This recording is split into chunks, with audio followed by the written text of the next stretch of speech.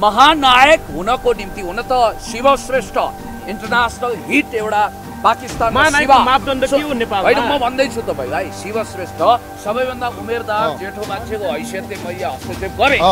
चारजनाको महानायक चाहिँ तपाईँ हो। अँ, होइन म अब महानायकको कुनै आफ्नो छोराछोरीलाई हिरो बनाएर को महानायक हुन्छ जनताको छोराछोरी हिट गराउनु पर्यो ल्याएर। नयाँ कलाकारहरू जन्माउनु पर्यो। तपाईँले अलिअलि घुस पाएको जस्तो लाग्यो चार्लीजी उपाधि दिँदैमा हुँदैन। यहाँ गोल्ड मेडल भने जता पनि प्रशस्त रूपमा बाँडिन्छ। त्यो बगर मेरो विचारमा चाहिँ त्यही त्यही लागिरहेको छ। अँ, शिवश्रेष्ठ नै हुनुपर्छ। महानायिका हुन योग्य। दर्शकहरू स्वागत छ। यतिखेर हामीसँग कुराकानी गर्नको लागि चारजना भेटरन व्यक्तित्वहरू भन्नुपर्छ। उहाँहरू आफ्नै क्षेत्रमा एकजनाको अँ, चर्चा बटुलेका व्यक्तित्वहरू हुनुहुन्छ। अब हामी आज यो महानायक महानायिकाको विषयमा विशेष कुराकानी गर्छौँ चर्चा परिचर्चा गर्छौँ। उहाँहरूले यो महानायक महानायिकाको विषयमा जसरी यो विवाद भइरहेको छ केही समय अगाडि एउटा कार्यक्रममा महानायिकाको रूपमा करिश्मा मानन्दरलाई उपाधि दिइएको थियो र त्योभन्दा अगाडि एउटा कार्यक्रममा राजेश हमाललाई महानायकको उपाधि दिइसके पछाडि कतिपयले असन्तुष्टि पनि व्यक्त गरेका थिए र धेरै दर्शकहरूले पनि महानायक राजेश हमाल नै हुन् भनेर अहिले पनि उहाँहरूले त्यो साथ सपोर्ट दिइरहनु भएको छ। तर यी व्यक्तित्वहरू जो आज फ्रेममा हामीसँग हुनुहुन्छ उहाँहरूले यो बारेमा के धारणा बनाउनु भएको छ भन्ने हिसाबले हामी कुराकानी गर्छौँ र यहाँहरू चारैजनालाई स्वागत गर्छु म। हजुर धेरै धेरै धन्यवाद। नमस्कार। परिचय त लगभग तपाईँहरूको थाहा छ तैपनि फेरि एकचोटि भन्दा थप प्रष्ट होला र कुराकानी गर्न सहज होला। अँ, म तिलक कार्की नेपाली चार्ली पुतली कटवाला। म आफ्नो नाम वास्तवमा पुण्य गौतम भन्न अहिले चाहन्न। नमस्कार म कलाकार वाइबा डन। म भालेडर कलाकारै हुँ। त्यही भएर उता टाउकोतिर नै भालेको जस्तै जुरो छ होइन त? पोखरी कहाँको पोजिसनमा हुनुहुन्छ? पुण्य सरले अनौपचारिक रूपमा मबाट सुरु गर्नु है कुराकानी भन्नुभएको थियो। नगरौँ जस्तो नि लागेको थियो फेरि उहाँको चित्त दुख्ला भनेर म उहाँबाटै सुरु गर्छु कुराकानी चाहिँ। पुण्य सर यो महानायक महानायकको विषयमा यसरी विवाद भइरहेछ के भन्नुहुन्छ तपाईँ? तपाईँले प्रश्न यसरी राख्नुभयो यस्तो लाग्छ कि तपाईँ भविष्यको महान युट्युबर हो। किनभने युट्युबरमा हुनुपर्ने एउटा खास विशेषता तपाईँमा रहेछ। जहाँसम्म मलाई लाग्छ महानायक वा महानायिकाको यो डिबेट गर्नुभन्दा अगाडि नै म ठसठसी कनिरहनु भएको थियो। भविष्यको महानायिकालाई जन्म दिनुहुने लक्ष्मीलाई जन्म दिनुहुने प्रियङ्का कार्कीलाई हार्दिक बधाई शुभकामना भन्न चाहन्छु।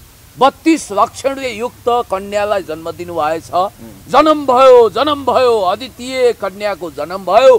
कविहरू कविता लेख्नुहोस् गीतकारहरूले गीत लेख्नुहोस् अनि एकतिस तोपको सलाबीको तयारी गर्नुहोस्। किनभने भविष्यको महानायिका प्रियङ्का कार्कीको कोखबाट जन्मिसक्नु भएको छ। यति भनिसकेपछि अब यहाँ महानायकको कुरा गरौँ। हुन त हेर्नुहोस् यहाँ अनेक टाइटलहरू छ। जस्तो यहाँ एउटा कुरा गरौँ। टाइटल र उपाधि नपुगेर अचम्म छ। हुन त कौवाला बेलपाको हर्ष तपाईँको विचारमा चाहिँ महानायकको जस्तो अस्ति भर्खरै एउटा कार्यक्रम भयो होइन? डाँडाको बर पिपल जो सोभित बस्नेतले बनाएको फिल्मको चर्चा अथवा प्रेस मिटमा चाहिँ सोभित बस्नेत आफैले हामीसँग एकमात्र महानायक हुनुहुन्छ भुवन केसी भन्दै कार्यक्रममा बोलाउनु भयो र त्यहाँ सँगै रहेका अर्का लेजेन्ड कलाकारै भन्छु म एक्टर शिव श्रेष्ठ जो अन्तर्राष्ट्रिय क्षेत्र पनि आफ्नो भन्नाले पहिचान बनाइसक्नु भएको छ पाकिस्तानमा एउटा नायकको भूमिका अथवा परिचय बनाएर आइसक्नु भएको छ। उहाँलाई फेरि भुवन केसीले महानायक शिव श्रेष्ठ भनेर भन्नुभयो र योभन्दा अलि धेरै लामो समय अगाडि नै एउटा संस्थाले भन्नाले प्रकाश सुवेदी जोडिएको कार्य एउटा संस्थाले चाहिँ महानायकको उपाधि चाहिँ राजेश हमाललाई दिएको थियो। अहिले राजेश हमालको विषयमा एकदमै चर्चा भइरहेको छ। त्यही कार्यक्रममा केही समय अगाडि मात्रै तपाईँले पनि निकै बोल्नु भएको थियो। दिपाश्री नेरोला जो एकदमै चर्चित कलाकार हो सिरियलमा धेरै उहाँको एकदमै चर्चा छ होइन। अनि उहाँले चाहिँ महानायक राजेश हमाल हो र खोइ त यो लकडाउनको विषयमा बोले बोलेको महानायक होइन भन्ने तरिकाले आशय व्यक्त गरिरहँदा उहाँ एक वर्षदेखि झन्डै बर्थडेमा मात्रै एकैचोटि बोल्नुभयो। यो बिचमा थुनिनु भयो कि एक ढङ्गले दर्शकहरूले कडा आलोचना गरे उहाँको। ए महानायक राजेश हमाल नमानेर आफू हिरो बन्न खोजेको अथवा भनौँ न आफूलाई त्यही ढङ्गले दर्शकले निकै क्रिटिसाइज गर्नुभयो त्यो विषयमा तपाईँले पनि बोल्नु भएको थियो। यो विषयमा तपाईँ चाहिँ के भन्नुहुन्छ? महानायकको हो। अब सुन्नुहोस्। यो विषय धेरै नै पन्पियो धेरै विवादमा तानियो। र यो प्रश्नको तपाईँको विचार स्पष्ट भनिदिनुहोस्। लम्बाइ चौडे। कुरा होइन कुटनीतिक जवाब होइन। भुवन केसी शिवश्रेष्ठ राजेश हमाल यी तिनजना पात्रमध्ये महानायकको हिस्सेदार हकदारको हो। महानायक यानि कि मेगा स्टार भनेको राजेश हमालज्यू नै हो। अब किन? होइन म त्यसको व्याख्या गरौँला। अहिले यो नेपाली सिनेमा इन्डस्ट्रिजमा ब्रह्मा विष्णु महेश्वर भने जस्तै तिनवटा नायक जबरजस्त अल टाइम बेस्ट लेजेन्डरी एक्ट्रेसको रूपमा जोडिनु भएको छ। महानायक राजेश हमाल सुपरस्टार भुवन केसी र अर्का सुपरस्टार शिव श्रेष्ठ म यसको व्याख्या पछि गरौँला। अब यो विवाद इन्डियामा पनि थियो जस्तो सदीका महानायक अमिताभ बच्चन भनेर एउटा संस्थाले उहाँलाई सम्मान गर्दा सेन्चुरी मेगा स्टारको रूपमा अमिताभलाई सम्मान गर्दा अमिताभले महानताका साथ भन्नुभएको थियो। म कहाँ महानायक हो र दिलीप कुमारजी पो दिलीप साहब महानायक हो भन्नुभएको थियो। अब शाहरुख खानलाई किङ भनिन्छ। अब सलमान र उसको उपाधि त के के हो? आमिरको अक्षय कुमार कहाँ एउटा इन्कुबेटरले चल्ला जन्माए जस्तै प्रत्येक महिना उनले एक एकवटा फिल्म जन्माएकै छिन्। त्यस कारणले गर्दा यो विवाद हलिउडमा पनि छ। हलिउडमा टम क्रुजलाई महानायक भन्दा उनले विनम्रतापूर्वक अल पचिनो भएको अनि लियोनार्दो दि क्याप्लो भएको यो इन्डस्ट्रिजमा म महानायक होइन भन्नु ब्राड पिटले अल्पचिनो देखाउने अनि त्यसपछि कसैले लियोनार्दो डिक्रापो देखाउने यस्तो एन्जोलिना जोलीहरूको पनि छ। इन्डियामा पनि महानायिका को? श्रीदेवी हो कि हेमा मालिनी हो कि मिना कुमारी हो कि अथवा को हो भन्ने विवाद छ। अलिकति तपाईँलाई म थोरै स्मरण गराउन चाहन्छु। अस्तिको कार्यक्रममा जस्तो शोभित बस्नेतको त्यो फिल्मको चर्चा भइरहँदा उहाँले के भन्नुभयो भने जसले आफ्नो श्रीमतीलाई अरूको अङ्गालोमा हाल्न अनुमति दियो आफ्नो छोरालाई स्टार बनायो ऊ चाहिँ ना महानायक नहुने अथवा त्यो भुवन केसीलाई भन्न खोज्नु भएको? भुवन केसीले आफ्नो श्रीमतीलाई अरूसँग नि खेल्न दिनुभयो अथवा भनौँ न साङ्गीतिक क्षेत्रमा अरूलाई पनि अँगालो मार्न दिनुभयो एक ढङ्गले श्रीमतीलाई पनि अगाडि बढाउनु भयो छोरा अनमोल केसीलाई पनि एउटा स्टारको रूपमा स्थापित गराइसक्नु भएको छ। उहाँ महानायक नभएर राज समालको के योगदान छ? जसले एक रुपियाँ लगानी गरेको छैन भनेर भन्नुभयो कि यो तर्क कतिको तर्कसङ्गत हो। के कारणले महानायक राजा समाल हुन् भन्ने तपाईँको दाबी हो भन्नु शोभितजी मेरो असल मित्र हुनुहुन्छ उहाँको तर्कको बैशाखी मैले टेक्नु जरुरी छैन। महानायक हुनको निम्ति हुन त शिव श्रेष्ठ इन्टरनेसनल हिट एउटा पाकिस्तानमा? होइन म भन्दैछु तपाईँलाई शिव श्रेष्ठ जसलाई एक्सन किङ पनि भनिन्छ। अब पुण्य गौतमलाई युट्युब महानायक भनेर कसैले फर्काउला म ताईको फरल्ला जस्तो जुरुक जुरुक युट्युब किङ युट्युब महानायक भन्दैमा म उफ्रिनु हुँदैन। तर घुमाउनु आफैले दाबी गर्नु होइन होइन। मैले। भन्न खोजेको कुरा के हो भने जस्तो शिवश्रेष्ठ इन्टरनेसनली पाकिस्तानी प्रोजेक्टको फिल्ममा एक सय एक शिवा भनेर उनी हिट भए। भुवन केसीको कुरा गर्ने हो भने त्यो मादक मुस्कान त्यो जुङ्गा त्यो सौन्दर्य दुई हजार अडतिस सालमा उहाँले डेब्यू गर्नुभयो जुनी मार्फत। अनि त्रिचालिस अनि त्यसपछि सम्झना जस्ता अल टाइम बेस्ट मुभीहरू दिनुभएको छ। र अब यहाँनिर राजेश हमाल दुई हजार सत्तालिस सालमा सिनेमामा आउनुभयो युगदेखि युगसम्म अब एकाडेमिक क्वालिफिकेसन गाम्भीर्यता हरेक हिसाबले र सबभन्दा ठुलो कुरो यसको मापदण्ड के हो भने पढ्ने साथै महानायक भन्ने हुन्छ होइन? होइन कुनै- समय भनेर राजेश हमालले बोल्नेदेखि पोस्टरमा राजेशको टाउको देखेपछि फिल्म हिट हुन्थ्यो सबैभन्दा कमर्सियली। सक्सेसफुल मुभी दिएको हुनाले पनि उहाँलाई महानायक भनियो। अब भुवन केसीलाई पनि सुपरस्टार भनिएको छ। अनि शिव श्रेष्ठलाई पनि भनिएको छ। ब्रह्मा विष्णु महेश्वर जस्तो हो। अब महानायिकाको विवाद पनि म टोकिहालेँ। एकछिनपछि तपाईँसँग आउँछु महानायकको विषयमा। यहाँ सरहरू पनि मुख फटोटेरिसक्नु भएको छ। लामो कुराकानी सुन्दा मेरो चाहिँ कहिले पालो आउला भनेर अन्याय फिल गरिसक्नु भयो होला। त्यही भएर म वाइबाटन सर के भन्नुहुन्छ तपाईँ? के हो महानायक? को अहिलेको परिस्थितिमा? महानायक भन्नै पर्दाखेरि राइस दाइ नै हो नि। राइस सम्हालै हो नि। किन महानायक राजा सम्हाल्नै हुन् किनकि? सबैभन्दा पहिलाचोटि नेपाली चलचित्रमा नायक हिरो भनेर चिनिने राय समाल हो। सबैले मानिराखेको दर्शकहरूले श्रोताहरूले पनि उहाँ धेरै माया पाएको मान्छे पनि हो। त्योभन्दा पछाडि धेरै जन्मिया छ? हुनसक्छ। पछाडिको उहाँहरूलाई पनि मानेकै छु नि हामीले। मानेको छैन त भनेको छैन होइन बिस्तारो हुन्छ नि। समय आएपछि कुर्नुपर्छ धैर्य त गर्नुपर्छ कहाँ बुढो भइसक्यो होइन त्यो समयले बताउँछ नि बुढो अब केपी ओली त सत्तरी अस्सी वर्षको मान्छे हुन्छ। कहिल्यै हुँदैन। ल। भालेडन के भन्नुहुन्छ? भालेडनको नजरमा महानायक को नेपालको अहिले। महानायक यो मैले मात्रै भन्ने कुरा होइन सारा जनताले भन्ने कुरा हो होइन? राज समाज दाजु नै हो। सबैले राज समाज सरलाई नै मान्नु भएको छ त अनि। किन महानायक राजा सम्हाल्नु भन्नु त? यस्तो हो क्या महानायक के महानायकको कुरा पढाउनु पनि भयो कि क्या? यो? महानायक र उको कुरा निस्किएको थिएन कहिले पनि।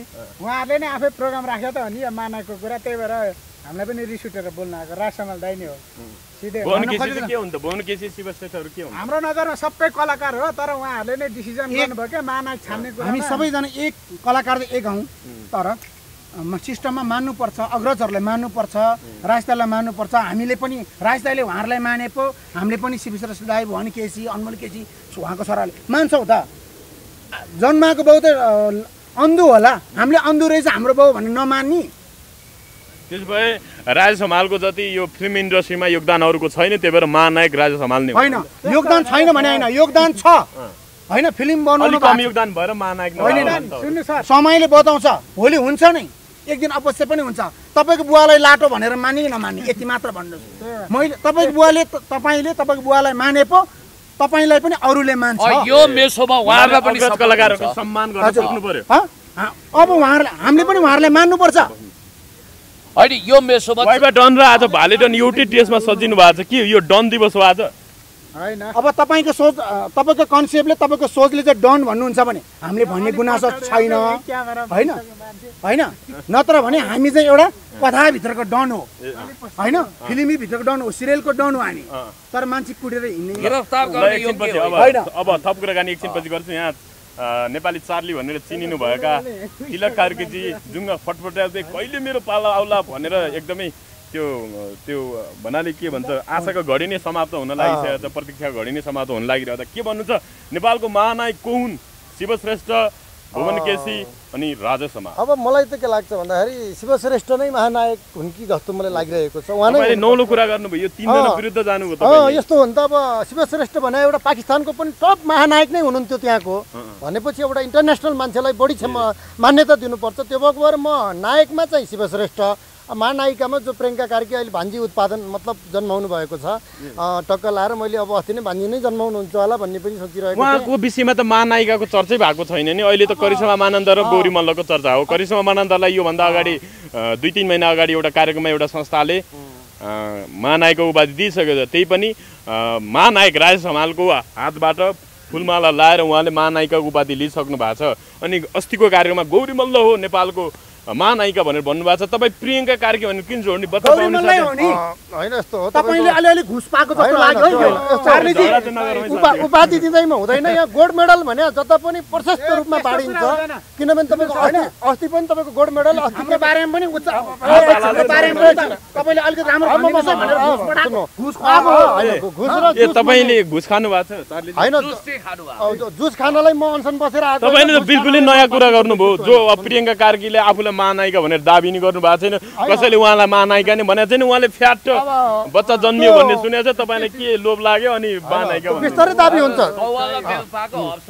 बिस्तारै दाबी हुन्छ त्यो जनताले छनौट गर्ने कुरा हो बिस्तारै छनौट गर्नुहुन्छ। यहाँ तपाईँको गोल्ड मेडल भनेको अस्ति प्रधानमन्त्रीज्यूले भट्टाभट आफन्ती मामा छामा सासू ससुरालाई मेडल बाँडिदिनु भयो अनि केपी ओलीले भन्नुहुन्थ्यो त्यो मेडलको आँखा र मान्छे जस्तो भयो कसी आँसु झार्थ्यो होला कठैबाट भन्नुहुन्थ्यो होइन त्यस्तै तपाईँको यहाँ गोल्ड मेडलको त भ्यालु नै छैन जता नि गौरी। मल्लले पनि भन्नुभएको थियो नेपालमा उपाधिको त्यति महत्त्व छैन खासै यो कुनै काम छैन भने तपाईँलाई नि त्यसो भए महानायक मायानायक यो उपाधिको अथवा यो यो जे नाम उपनाम दिएको छ यसको खास महत्त्व छैन अब। यस्तो हो नि त एउटालाई दिन पनि अर्कालाई दिन्छन् कहाँबाट हुन्छ जस्तै तपाईँको अघि एउटा प्रश्नमा जुन आयो अब भुवन केसी किन महानायक भनेर उहाँले छोरालाई स्टार बनाउनु भयो लगानी गर्नुभयो भने चाहिँ तपाईँको उहाँहरू कसरी महानायक हुनुहुन्छ? जसले स्वस्थ काम गरेको छ नेपालको नाम उच्च पुर्याउने काम गरेको छ। कलाकारिताबाट इन्डस्ट्रीलाई उच्च लेभलमा दर्शकको मन जित्ने काम गरेको छ। त्यसरी जस्तै तपाईँको प्रधानमन्त्रीज्यूले के गर्नुभयो? आफ्नो छो- बुहारी मन्त्री बनाउनु भयो आफ्नो छोराछोरीलाई सांसद बनाउनु भयो होइन मैले यो विषयमा होइन पछि होइन मैले कुराकानी प्यारोडी। हिसाबले एउटा व्यङ्ग्य गरेर भनेको त्यही- बाहिर खेल्दैमा